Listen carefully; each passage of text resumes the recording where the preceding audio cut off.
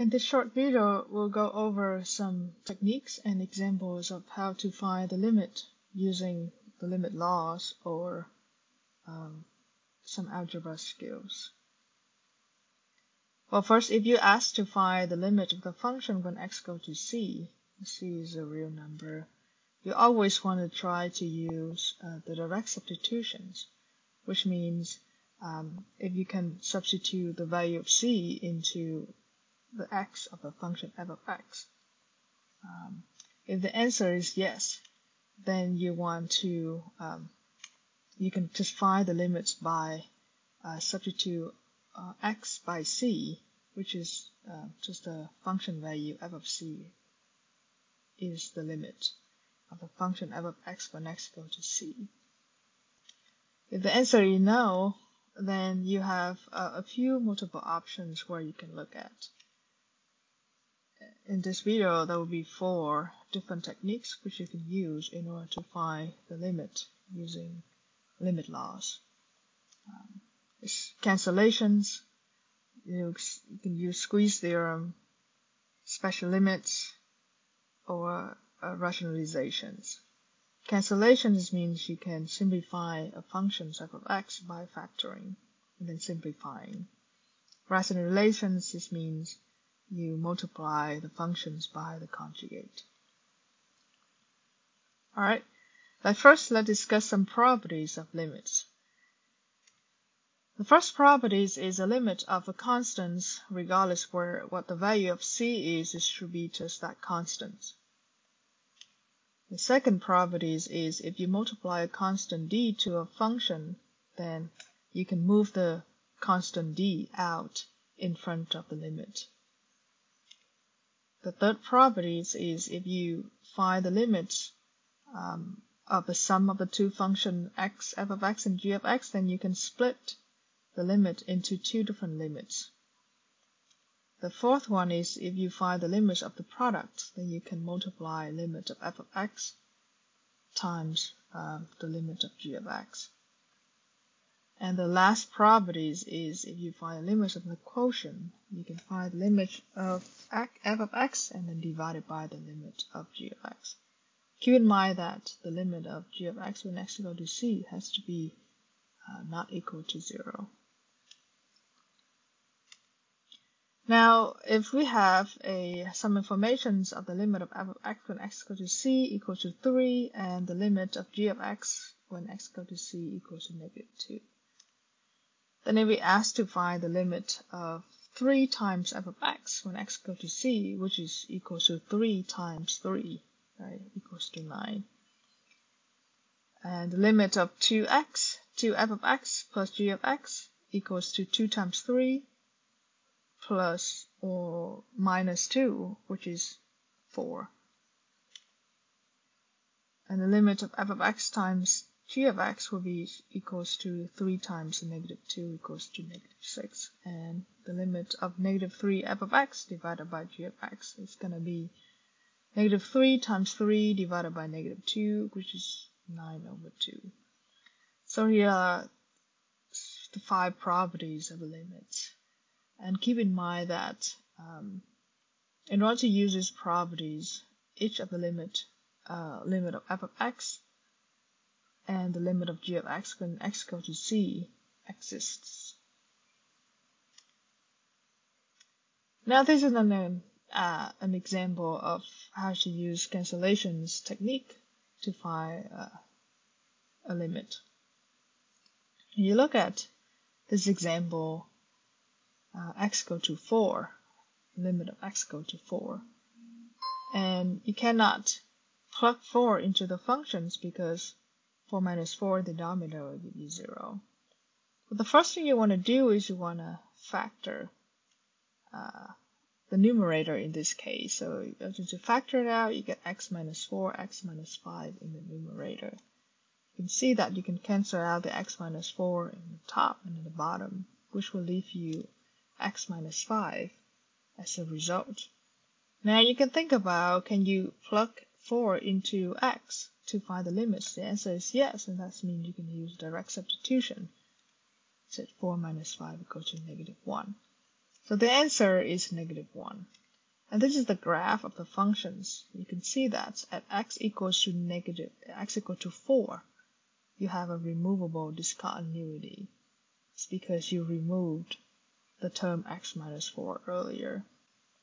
And as x go to 4, uh, the limit is negative 1.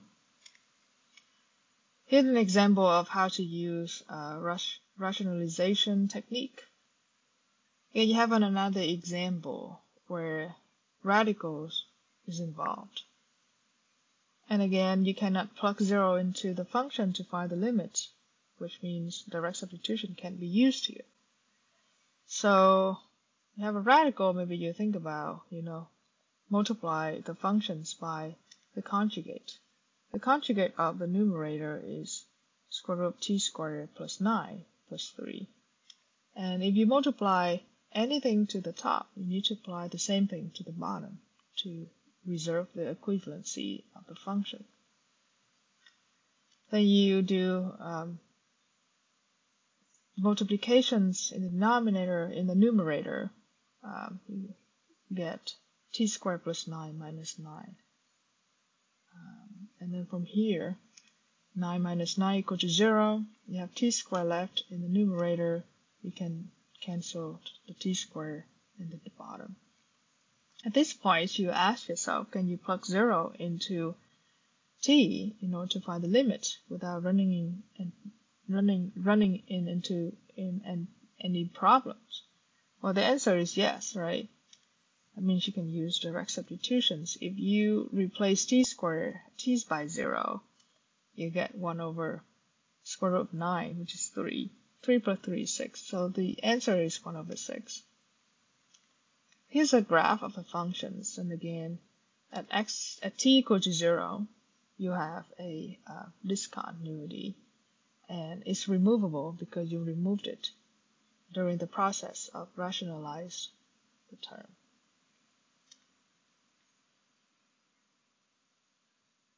Next is uh, an example of how to use a squeeze theorem.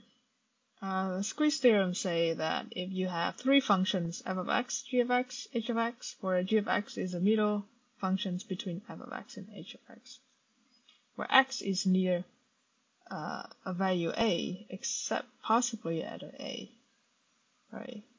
Uh, x can be near a or x can be at a, and the limit of f of x when x goes to a is the same as the limit of x uh, h of x when x goes to a equals to L exists and L is a finite value, then the limit of the middle function g of x when x goes to a is also L.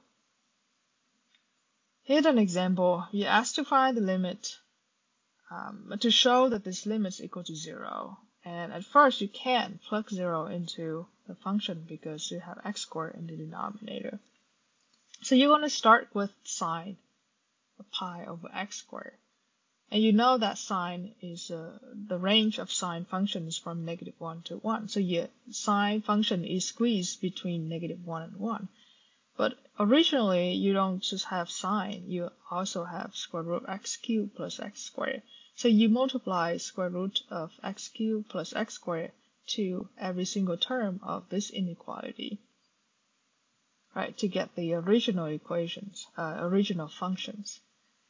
And you can see that this is the left functions is f of x, the middle function is g of x, and the right function is h of x. And here is the graph of h of x, g of x, and f of x. And you can see that g of x is the green graph and is squeezed in between h of x and f of x, especially at zero. And using direct substitution, we can find that uh, the limit of the f of x function equal to 0, also the limit of the function h of x is equal to 0. So using the squeeze theorems, we can conclude that the limit of the function g of x also equal to 0, which we just shown that the limit of this function equal to 0. Special limits. I'll present two special limits in this video, in this lecture. So the first special limit is limits of sine x over x when x goes to 0 equals to 1. And the limit of cosine of a minus 1 over a when a goes to 0 also is equals to 0. Okay. First example is you asked to find the limit of 3 sine of 2x divided by x when x goes to 0. And again, you cannot plug 0 into x to find the limit. But you see that this is uh, this form sine 2x over x is similar to sine of x over x. Then we want to use the fact that uh, the limit of sine of 2x divided by 2x when x goes to 0 equals to 1 then we want to multiply the denominator. We need 2x in the denominator. Uh, so then we multiply 2 to the denominator and also 2 to the numerator. And we can extract this function out. And we know that the limit of this function when x goes to 0 is 1. So then uh, the answer for this limit should be 6 times 1 equals to 6. All right. Now look at a, a different example, uh, which we can use the second special limit. This example, again, we want to use a, the special limit and also the fact that you can take cosine of 7a minus 1 divided by 7a equal to 0. So you need to have the 7a in the denominator. So you multiply the denominator by 7a and you multiply the numerator by 7a, but I just move it out in front of the limit. And then you can extract this limit as you know that this limit is equal to 0. So the answer is 7 times 0 equals to 0.